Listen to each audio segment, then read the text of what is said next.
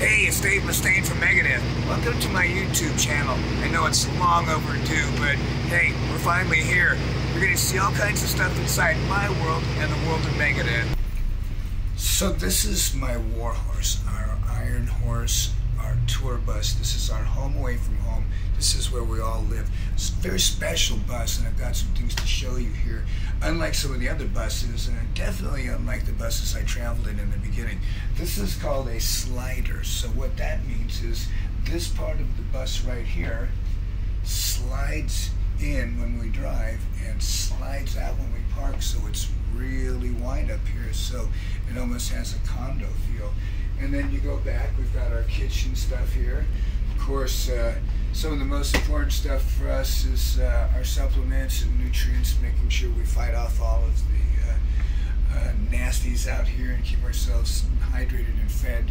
And then here's where uh, all of the different sleeping uh, areas are. I'm not going to pull back the curtains on most of them because it's a little private, but the condo bunks are two to a side and they're pretty roomy, pretty long.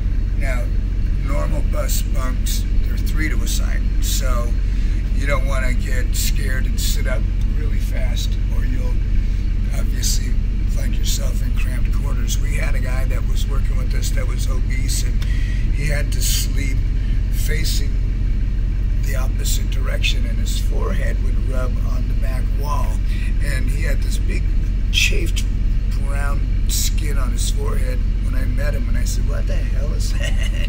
So he had his face against the wall like this all the way down the road all across America. So come on.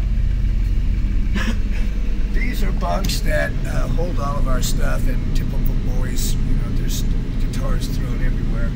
And then this is my uh, my bunk, so to speak, where I do my work, my bed. That's Hanley, and uh, just like the front, we have uh, TVs on both sides in case uh, you don't know which way you're facing. You want to catch a, something on TV. Uh, it's nice to have cable TV because you know you get to see sports stuff. Uh, you don't miss out on pay-per-view stuff as long as you order it soon enough. But anyways, I hope you like my tour of the bus. There's going to be a lot more stuff I can show you with Metal Tour of the Year. Be sure to click that subscribe button and come back regularly and leave a comment. Tell me what you think. All right?